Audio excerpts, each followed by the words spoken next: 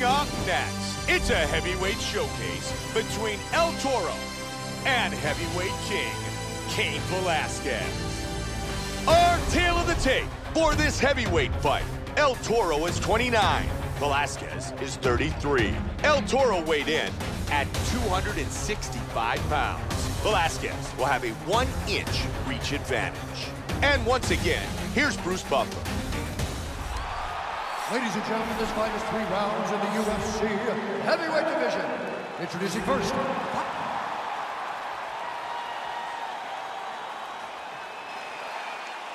El Toro. Cain Velasquez. Here we go! Fight scheduled for three five-minute rounds. White trunks for Velasquez. Black trunks for El Toro.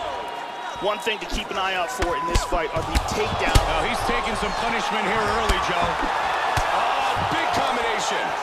Oh!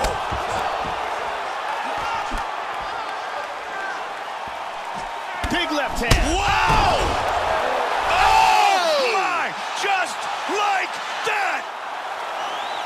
Beautiful knockout here early in the first. Joe, here's the finish on our fight replay.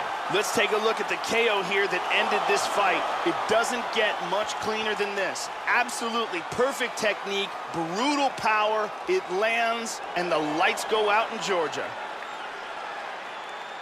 And here it is again. Boom! With the official decision, here is Bruce Buffer. Ladies and gentlemen, referee Yves Lavigne has called a stop to this contest at 39 seconds of the very first round.